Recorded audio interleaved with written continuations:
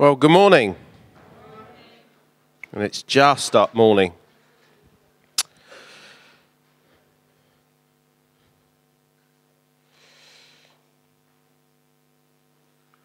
We're going to continue the teaching on uh, 1 Corinthians, and um, we're going to be looking at uh, two chapters, chapter 8 and chapter 9.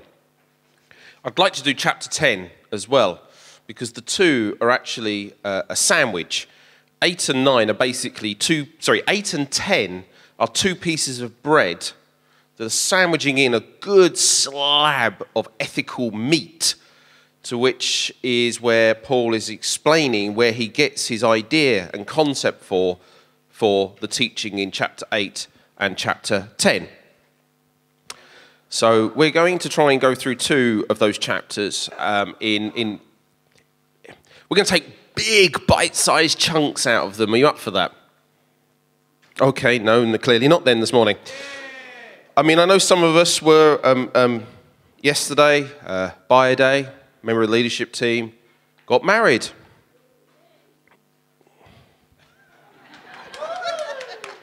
So there is a number of people that were there that aren't here, and there are some of us here this morning that were there, but half of us might still be in bed. So let's pray, shall we?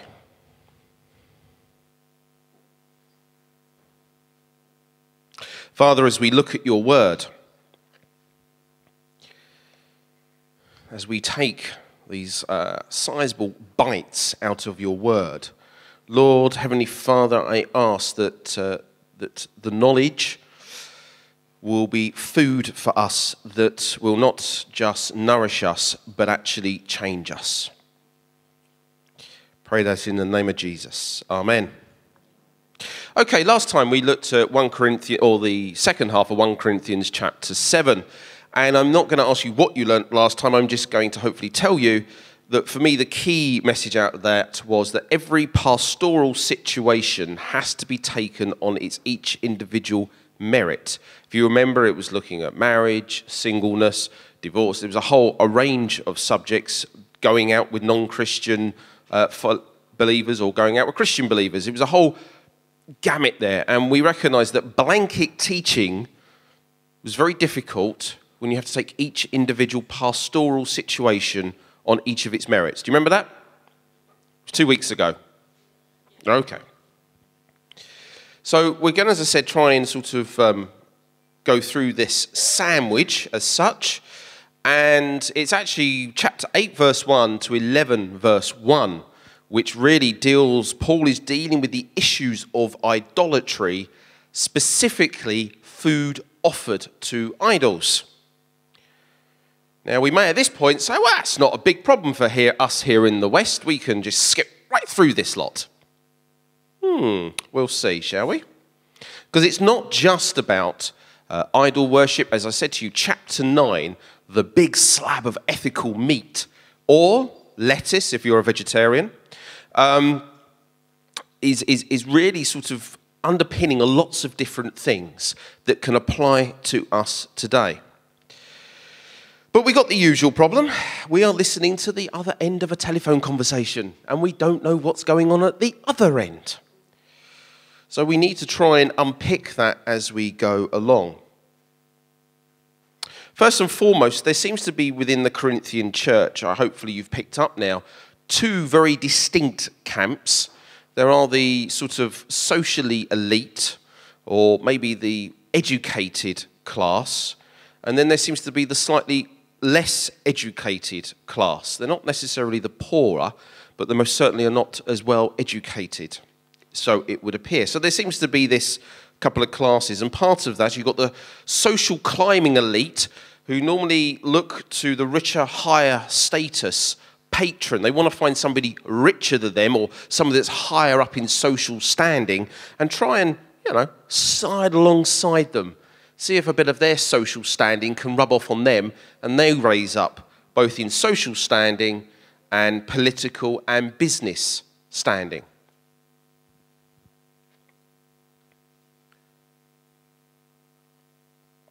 Now, partly the way that you gain some extra social standing or get well known is that you get invited along to various meals that are run by the higher patron, and um, these meals can take place in halls attached to sort of pagan temples, where clearly food would have been sacrificed to the idol that's part of that pagan ritual or you could have gone to their house. And again, you would have known they'd be following some certain god with a small g, and um, you know, therefore, you know their food, or there's been some sacrifices going on within that home.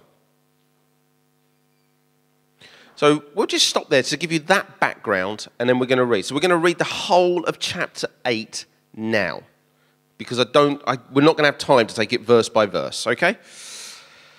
Ready? Oh, good. I'm wanting sure we're awakened with it. Okay, that's good. Thank you, Carol. Right.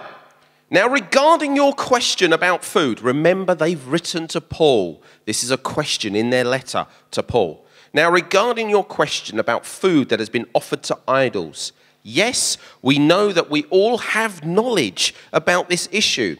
But while knowledge makes us feel important, it is love that strengthens the church. Anyone who claims to know all the answers doesn't really know very much. But the person who loves God is the one whom God recognizes. So, what about eating meat that has been offered to idols? Well, we all know that an idol is not really a God and that there is only one God. There should be an amen. There may be so called gods both in heaven and on earth, and some people actually worship many gods and many lords. But we know that there is only one God, the Father, who created everything, and we live for him. And there is only one Lord, Jesus Christ, through whom God made everything, and through whom we have been given life. However, not all believers know this. Some are accustomed to thinking of idols as being real. So when you eat food that has been offered to idols, they think of it as the worship of real gods, and their weak consciences are violated. It's true that we can't win God's approval by what we eat. We don't lose anything if we don't eat it, and we don't gain anything if we do. But you must be careful so that your freedom does not cause others with a weaker conscience to stumble. For if others see you with your superior knowledge eating in the temple of an idol, won't they be encouraged to violate their conscience by eating food that has been offered to an idol? So, because of your superior knowledge, a weak believer for whom Christ died will be destroyed. And when you sin against other believers by encourage them to do something they believe is wrong, you are sinning against Christ. So if what I eat causes another believer to sin, I will never eat meat again as long as I live, for I don't want to cause another believer to stumble. Am I not as free? Oh no, that's it. I knew that was going to go to verse 1. Okay. I really got to find a different, better program for this. We'll come to that in a moment. Wow. Lot there that Paul has to say. Did you get it all? Did you pick up on the fact that what he's trying to get at? And there seems to be this concept that those with the knowledge that they are free, they are free indeed. Amen? So they believe they are free to do whatever they want to do. They're free to eat food sacrificed to idols. It doesn't make a difference to their spirituality. So they believe. It makes not a dot of difference. And there's clearly, as we've noticed so far, lots of arguments within the Corinthian church. Doing well, isn't it, this church? What's amazing, now I've got to digress. What's amazing is here is a church that's arguing, fighting over things, arguing about, you know, different people, arguing which leader to follow, arguing over points of theology, not quite understanding things. And you'd look at that in any normal human stand and think to yourself, well, that's not going to stand very long and that will disappear and so will its message disappear. But here we are, 2,000 years on. God uses us, fallen, not quite fully understanding, argumentative Christians to bring about his kingdom. Isn't that amazing? Just thought you'd like to note that. So if you're feeling rough about yourself as a believer in Christ and think you're not fully all there, congratulations. Welcome to the rest of us for the last 2,000 years. God still loves you and still will use you.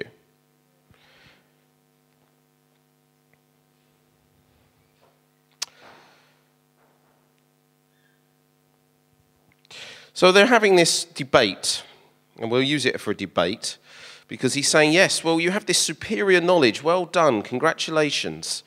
But he's saying, That's great knowing stuff, but knowledge puffs up. Knowledge does nothing but sort of build up your brain if that knowledge is not applied to your life. So I'm frantically trying to get to the verse I need. Let me just quickly do that.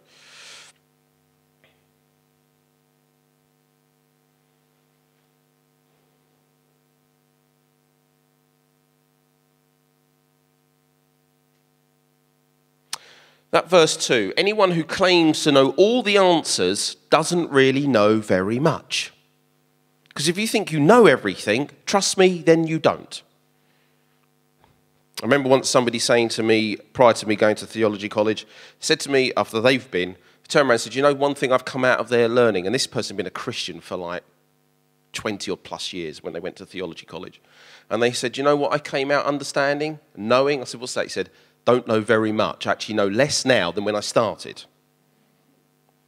Guess what? I came out of it going exactly the same thing. So, anybody ever claims they know it all, And it's not just theology college, just whatever you do. When it comes down to God and walking with Him and being with Him in our culture and our society, because it's forever changing, we need to always apply new things in our Christian walk to the way that we live. We have to sort of keep going back to the Bible, back to what this says, and say, well, how does this work then, given this circumstance? There is not a blanket answer for all. There are certain blanket answers, like there is only one God. Yeah, see?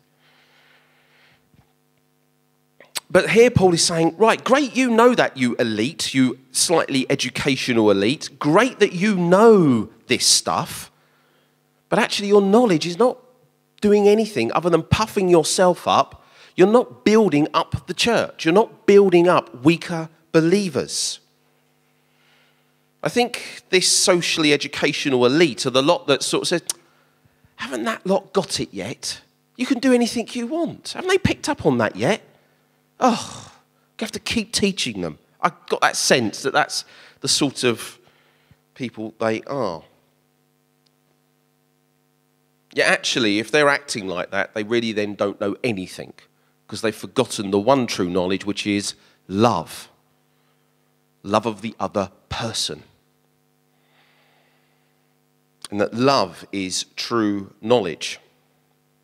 Because as it says, but the person who loves God is the one whom God recognizes. It's all well and good knowing stuff about God, but the key thing is to know God. Thank you, Carol. You can know all about him. You can go, oh, yeah, I understand about this Jesus. Yeah, I know it works. But if there's not the relationship, if there's not the I know God, you don't know very much. There's a particular line in a hymn um, that is, um, I will admit to you, has been with me all year, has just not left me. I picked it up once and it's not, it sits with me constantly, which is My goal is God Himself, not joy, nor peace, nor even blessing, but Himself, my God. Shall I repeat that again? My goal is God Himself not joy, nor peace, nor even blessing, but Himself, my God.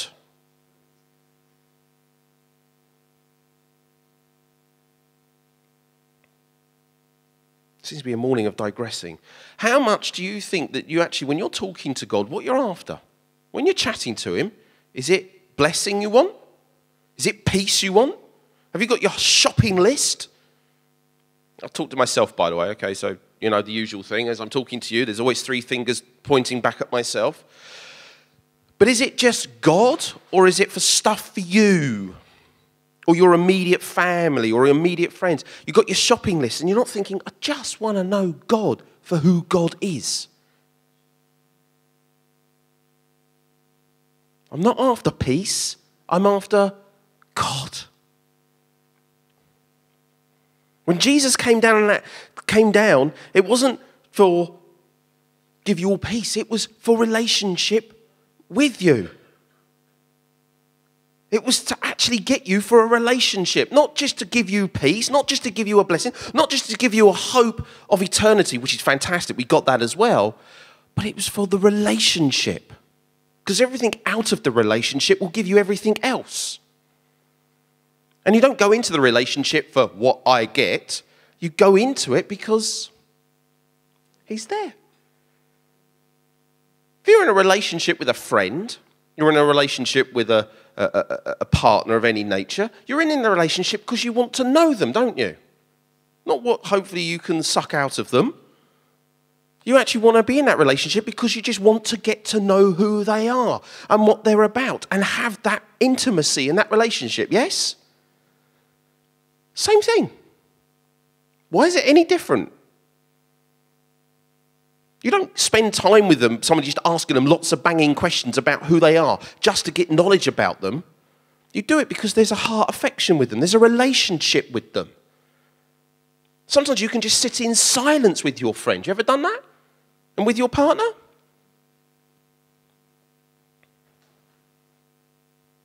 If you can do that, that's a relationship. Sitting in silence with God this morning was sitting in relationship with Him.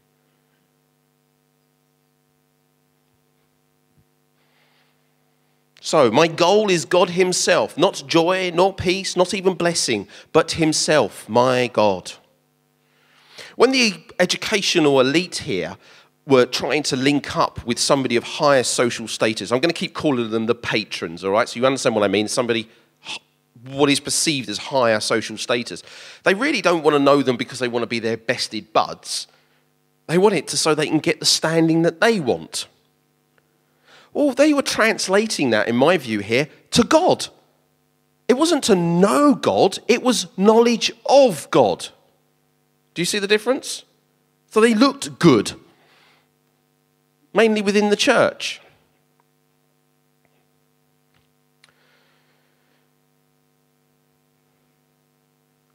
So Paul is saying, Mm-mm. the person who loves God is the one whom God recognizes. So, what about eating meat that has been offered to idols? Well, we all know that an idol is not really a god, and there is only one God. And he's quoting Deuteronomy chapter 6, verse 4. The Lord our God, the Lord is one. He's saying there are many gods, there's many lords, but they've all got small g's and they've all got small l's. There is only one God, and there is only one Lord. And who's our Lord? Jesus Christ. And he's going, Yes, you're right. It's fantastic. It's almost he's saying, Congratulations. Tick the box. Well done. You passed that exam. But you've only passed the theory exam. It's like a driving lesson. Apparently now, now I don't know this because I'm slightly older and glad to say I didn't have to have this issue, but apparently you have to now go and take a theory exam before you can get in the car to take your driving exam. Is this true for those that have maybe recently passed? Anybody here recently know? Okay. So apparently that's what you're meant to do. So in theory, you know how to drive on the road. In practice, it's a whole different ball game, isn't it? Now, I can do the practice. I'm not quite sure. That's questionable by my wife.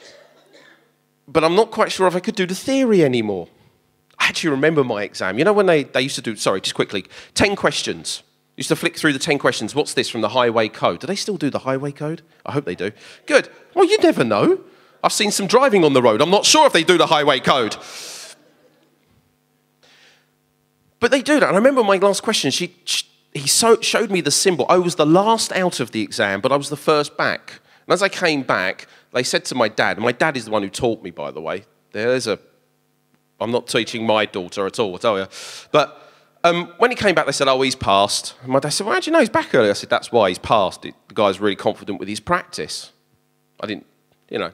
So anyway, so when he turns back, when we get into theory, he says to me, and what's this symbol? It's the last question. It was a circle white background with black diagonal line from top right to bottom left. Any idea? National speed limit. Could I remember? Speed limit, what's that? Oh, sorry, anyway. I'm joking. But the bloke, it, it, it, give me show, he said to me, What's 70 miles per hour? And I said, Well, the national speed limit. And I went, Oh! So uh, it was the only one I couldn't do. The rest I knew off the top of my head. Why talk about that? Well, it was great that I had the knowledge, but actually the guy was more impressed with my practice. And I think here for Paul, what he's talking about, actually, it's great you got the knowledge, but actually, it's what you put into practice. Great that you know that you're free to eat this food, but actually, if you don't put the love into practice, complete waste of time.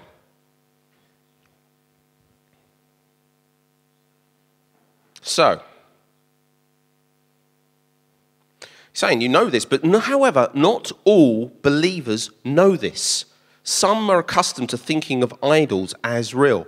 Some of your brothers and sisters, he class, uh, the Corinthian church are calling them the weaker brothers, the weaker minded ones. And Paul is just using their language back at them. He's sort of saying, well, they're the less well informed. But the problem is, if they see you eating with pagans in the temple halls, you may well be sitting there just saying, oh, it's just food. We know that there's not really any idols. This is just food. I know my Psalm 21 verse 24 verse 1 really really well. Anybody know what that is? The earth is the Lord's and everything in it. You might know that really well. But when your weaker brothers and sisters see you in these temple halls clearly eating food that is sacrificed to idols, they will think that you are honoring other gods. And the problem is, because their knowledge, as you call it, hasn't set them free from that, they're going to fall away and think that they can do the same. But the problem is, they actually still believe it's food sacrificed to gods. So therefore, then they believe it's okay for them to worship other gods in small g.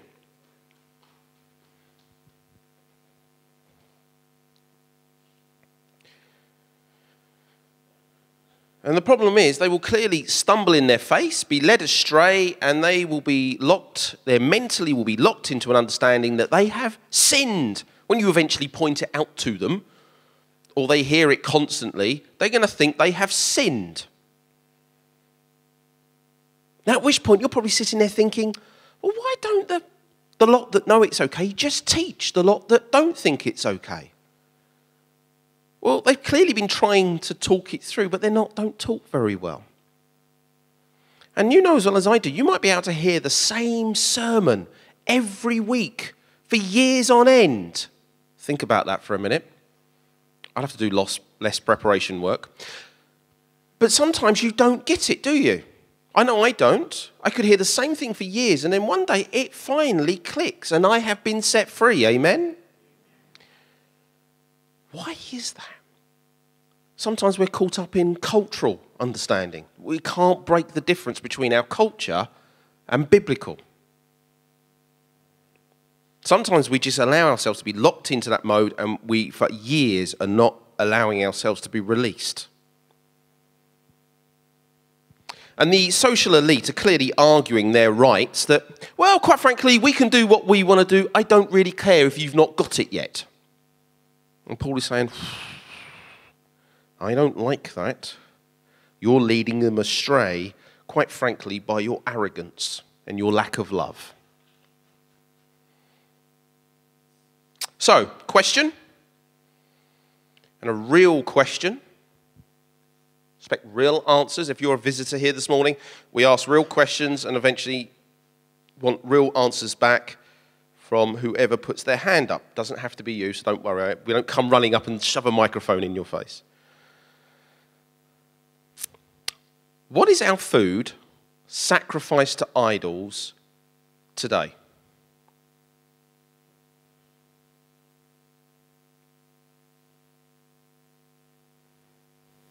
Or other gods or other lords? Have we got food today that falls under that category?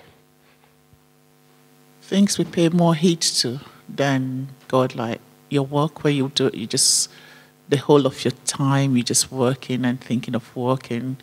Everything around you is work, work, work, work. For instance, that could be it because you think that's where my wages are coming from. Without my wages, there's no roof over my head. Therefore, I've got to bend when they say bend. Thank you. Okay. I was going to go the other way and say, um, like the kebab meat in a kebab shop is halal meat, and obviously they pray over their meat and they sacrifice it a certain way. So if um, if you're a Christian and you're eating it because you don't believe in that, that's fine. But obviously, if you've got somebody that's maybe converted from that religion, then that could have an effect on them because of what they believed previously, and they wouldn't necessarily get why you're able to do it. Thank you.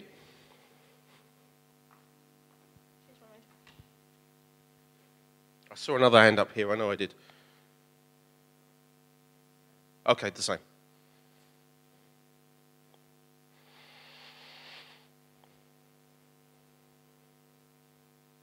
Okay.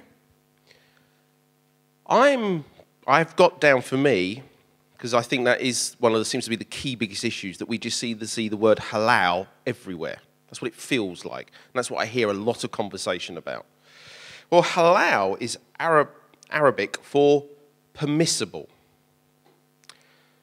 Yes, they kill uh, the animal in a specific way, and during the process, a Muslim imam will recite a dedication.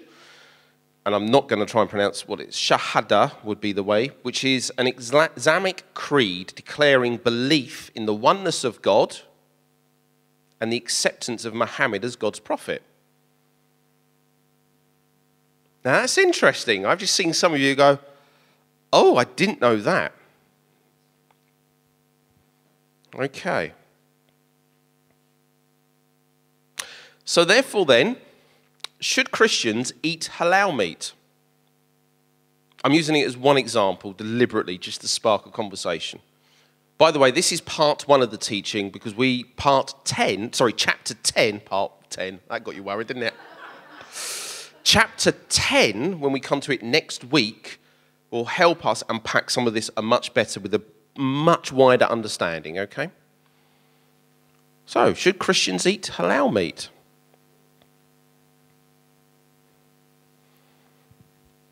Um, I suspect it's okay to bear in mind what Paul's talking about in the chapter. Okay, thank you. I don't care where it comes from. Meat's meat, and I'll eat it.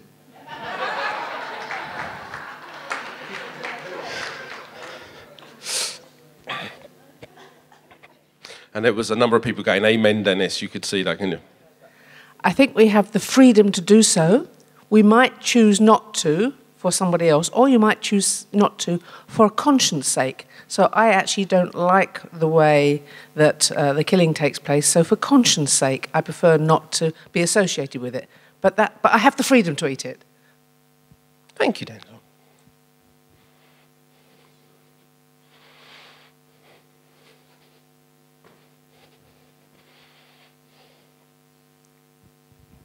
Actually, I, I didn't know that. Um, I thought, why I thought, I don't know where what my thoughts were based on, but I thought they just kind of pray, prayed over it and said, thank you, God, for this. So that's you know, something that I'll have to think about in my head. If they're saying, if you're saying they pray over it and say, I believe in Muhammad. So I'll have to think about that one. Thank you, Carol. Okay, I'll just. Um, it's not about me, it's who else is in the room. Thank you. Did you hear that? It's not about me, it's about who else is in the room. Oh, a little bit controversial.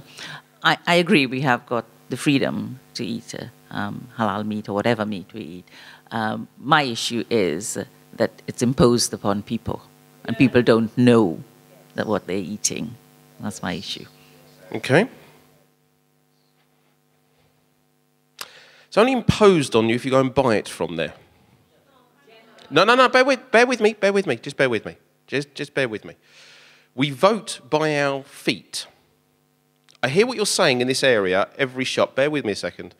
And I know now we go to like all our major supermarkets and schools as well. Yeah?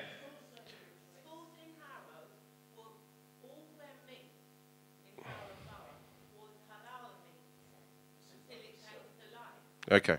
So they wouldn't dream of um, serving non-halal meat without informing the um, Muslims that it, it, it's non-halal. So why is it good for the, the um, non-Muslim kids Okay. We'll discuss that because that's again a politically driven.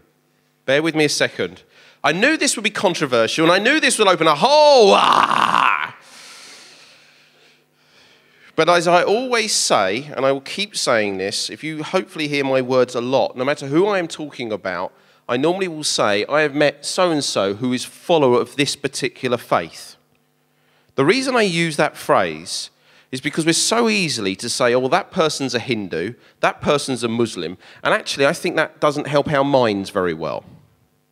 We need to look at people and go, they're made in the image of God, the God that I believe in. They don't know it fully yet. They happen to follow this particular faith, or they happen to be an atheist, or they happen. Do you see what I mean? I just want to, before we get into, and I know we wasn't, but it's very easy to start getting into um, an element of bashing that I don't want us to get into because some of this is politically driven. It's people, the PC bunch. This is not people from uh, other faiths. This is normally the secular society, the, the PC bunch want to appease everybody. So let's just bear that in mind in some of our thinking. Is that okay? Good. Carol, I've got that on video. For the first time, Carol said, if I say so.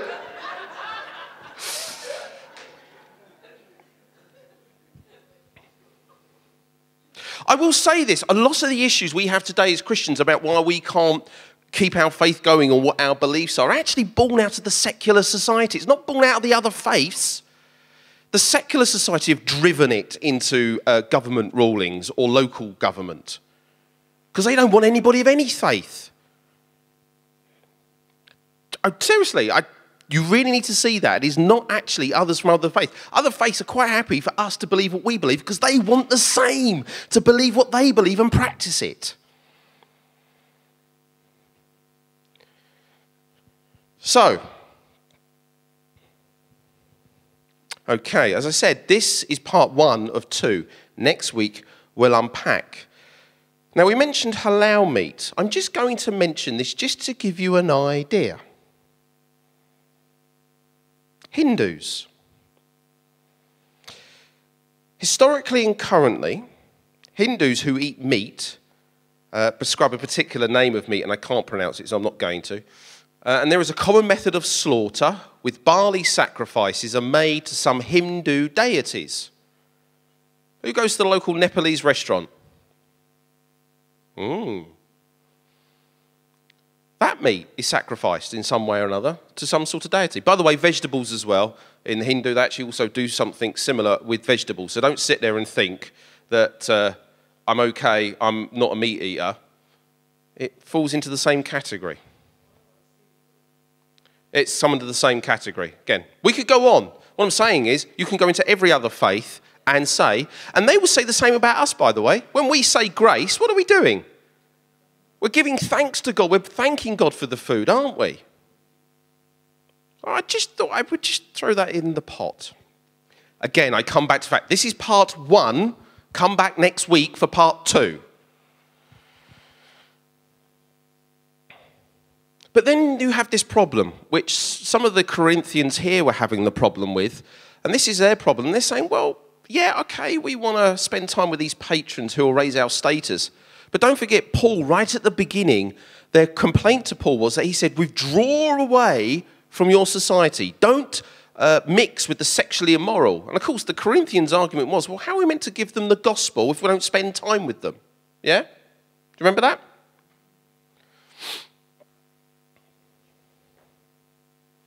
So, so here you go. What happens if your neighbor from another faith comes and gives you food for you to eat? You know, and it's part of hospitality, and you know you want to get to know your neighbor because what's the quote? Love thy neighbor as yourself. I'm literally using neighbor. And they come from another faith and they have given you food that you know full well is going to be whatever, what do you do then? Because you don't want to offend them, do you? And this is what was prompting Hammy. That's not an actual question. We'll come to that in a minute. But this was the Corinthians' problem. But we don't want to offend them. If we reject the invitation to dinners, etc., even though we know the food's been offered to idols, how are we going to give them the gospel? How are we going to talk to them about Jesus if we're not spending time with them socially? Because don't forget, in this culture, Spending time eating food was how you socialized. Oh, it hasn't actually happened much in two different in 2000 years, has it? Because you can't socialize and talk while you're watching a movie, can you? We actually tend to socialize over food, don't we? Anybody having a barbecue this afternoon? Put your hand, we're all coming round. No, no.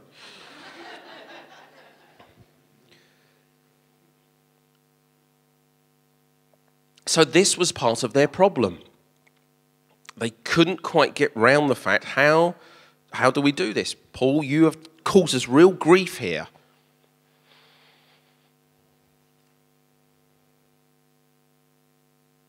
So the argument, as I said to you, is this: the educationally, the ones who know better, are really sort of saying, "Well, we're free. We're free to do what we do." But as Kevin quite rightly put it, Paul's argument is, "Well, it's not about you; it's about who's in the room."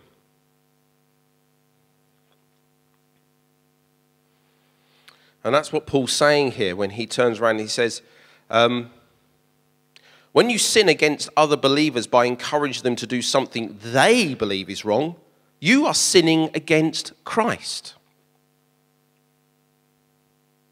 Now, let's think about that for a minute. We can apply that to lots of different ways. Somebody who may be a recovering alcoholic, and you're going out for a meal with them, there's a group of you going out for a meal to a restaurant. Now, you know that you haven't got a problem with drinking alcohol, or you haven't got a problem. So, do you sit there, order a pint? Ah, oh, but I'm free to do as I please. I'm free in Christ. It's not about you, it's about who's in the room with you.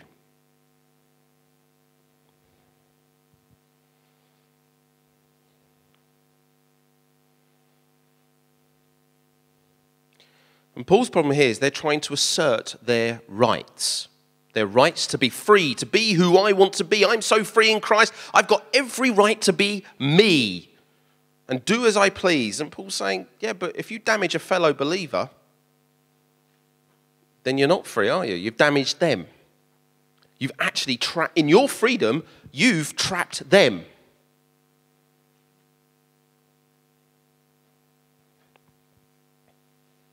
So, in verse uh, 11 to 12, no, 13, I'm sorry.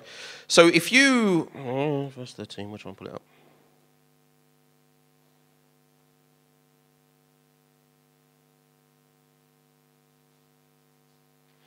So, if what I eat causes another believer to sin, I will never eat meat again, as long as I live, for I don't want to cause another believer to stumble. This is ultimately for Paul, this has got nothing to do with food and idols. This is to do with how we treat each other.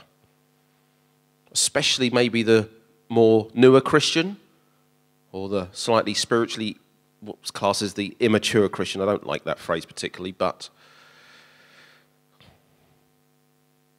And so Paul here is using hyperbole. He's saying it's so extreme that I never want to cause another believer ever to stumble by my freedom. I'm willing to sacrifice and never eat meat again.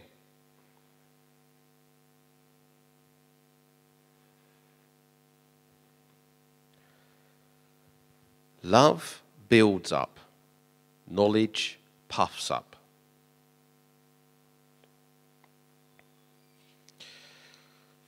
So, we're into chapter 9.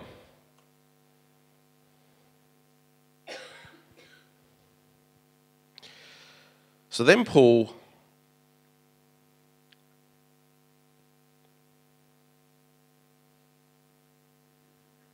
asks some rhetorical questions. Am I not as free as anyone else? Am I not an apostle? Haven't I seen Jesus our Lord with my own eyes? Isn't it because of my work that you belong to the Lord?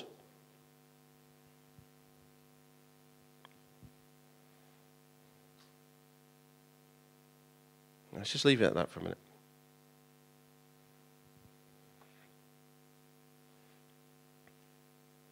Paul said, I will give up something. I'll give up my rights for somebody else. And then he's now going to come out with some questions that about actually, hasn't he got rights? This is the rhetorical questions. So imagine yourself, you're the Corinthian church. Can you do that? Okay. And you're having this letter read to you. And I've got this imagination right now as people are going, Am I as free as anyone else? And they're going, all the elite going, Yes, yes, oh, yes, he is. They're all looking at each other. Go on, all look at each other and nod for a minute. And go, mm, mm, mm. Imagine in the House of Commons or something, or whatever else, yeah? No, there's never order. Am I not an apostle, says Paul? Well, seeing they've written to Paul, the ones who wrote to him must assume that he is the apostle. So they've gone, mm, yes, yes, yes, yes, yes, yes. Oh, yes, you're an apostle. Haven't I seen Jesus our Lord with my own eyes? And he's clearly talking about A, the road to Damascus moment. And we know he must have seen Jesus prior to that as well. So they're going, oh, yes, yes, he, he actually has known the Lord Jesus directly. Oh, yes, yes, good authority here. Isn't it because of my work that you belong to the Lord? Well, what are they going to want to do? They want to acknowledge that they belong to the Lord. So they've got to acknowledge his work. Oh, yes, come on, come on. Give nodding head, come on. Even if others think I'm not an apostle, remember there are others who don't think that Paul is an apostle. I certainly am to you. You yourselves are proof that I am the Lord's apostle. This is my question, this is my answer to those who question my authority. Don't we have the right to live in your homes and share your meals? Don't we have the right to bring a Christian wife with us as the other apostles and Lord's brothers do and as Peter does? Or is it only Barnabas and I who have to work to support ourselves? What soldier has to pay his own expenses? What soldier does? Exactly. What farmer plants a vineyard and doesn't have the right to eat some of its fruit? Could you imagine being a farmer and not able to eat and pluck your own fruit as you go along? You've toiled the ground, you've ploughed it, you pulled out the stones, and he's saying, Well, this is just what shepherd cares for his flock of sheep and isn't allowed to drink some of its milk? The answer again is none. Am I expressing merely human opinion, or does the law say the same thing?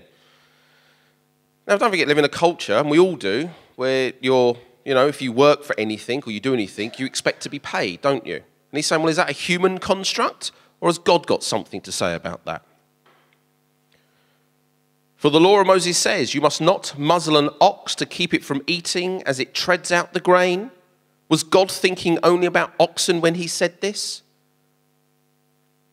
No, he wasn't. Because it'd be interesting, isn't it, if God made a specific request about oxen.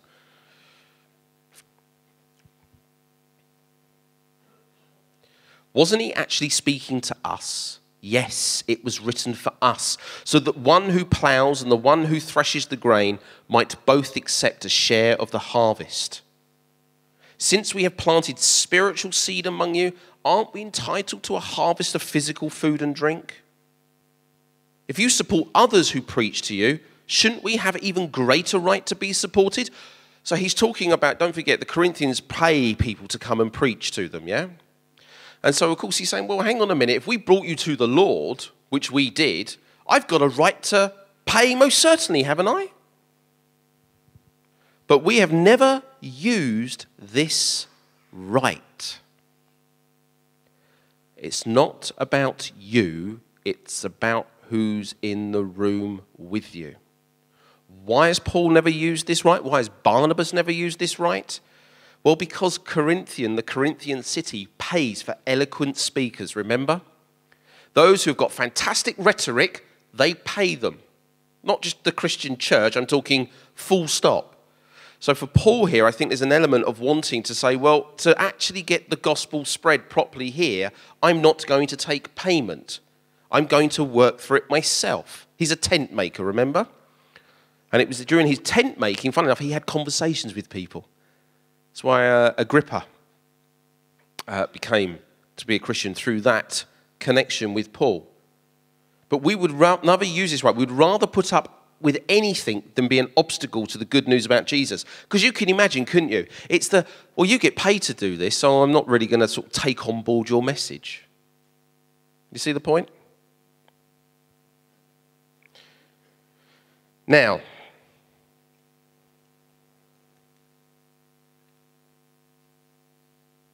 And Paul is being accused of not being a real apostle because he's not taking payment. But he's saying the ethical reason is that I actually don't want to for people to think that I just get paid to do this. There's actually something about my heart in the reason that I do this. Now, and I am very glad, Paul is not laying down a principle for not paying church leaders.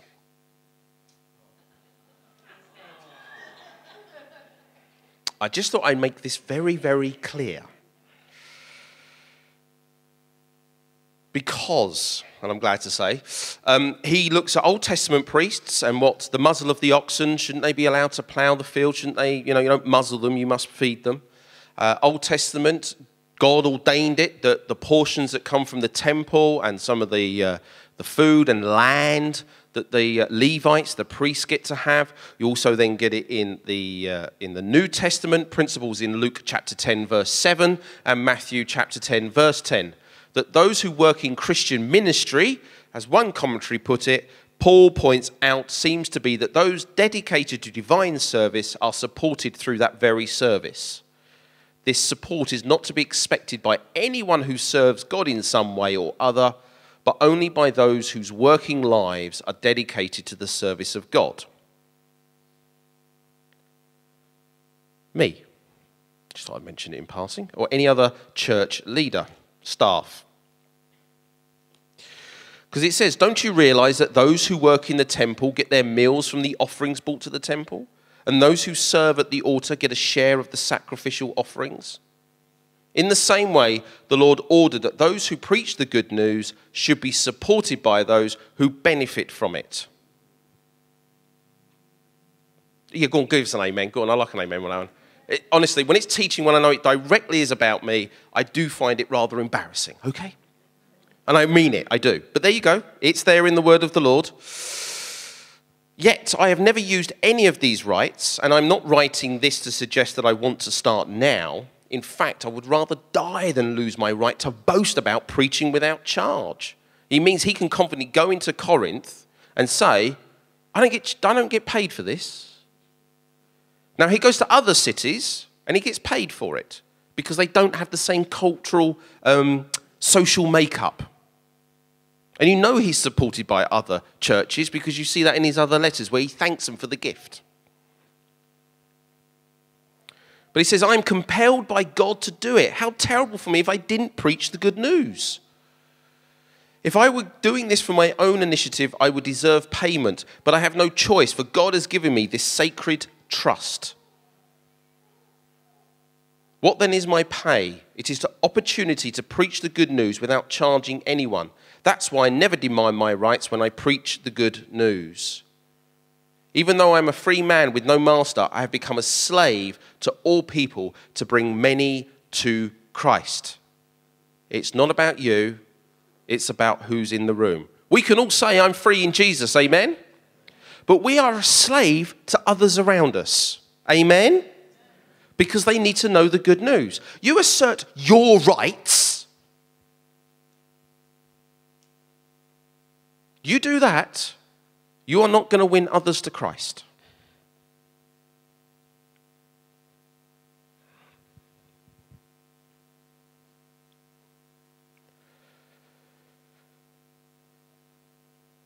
I want to say something about verse 16 very quickly, and we shall end on this.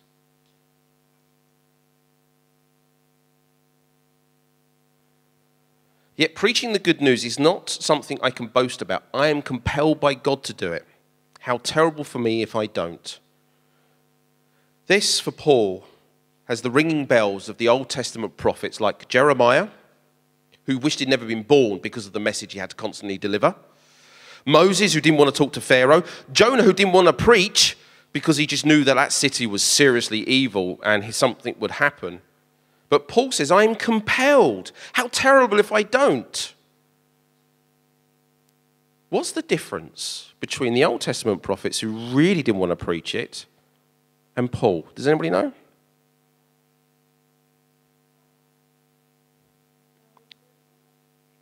No, not Holy Spirit. There's a distinct difference in the messages. It's doom versus hope. Old T prophets just sort of profound doom everywhere, didn't they?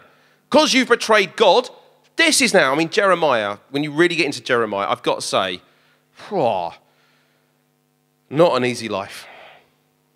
But we have a message of what? Hope. And our hope is what not? It's not built on us, it's built on the faithful promises of God. So, therefore, we all should be compelled to talk about and preach the message of hope. And Paul's saying the reason I can't, how terrible if I didn't preach the good news was because it is such good news. Not that I feel oppressed by God if I don't, where the Old Testament prophets did. It's actually because I want to, I have to, because it's such good news. I want my neighbor next door to know it. Do you believe that?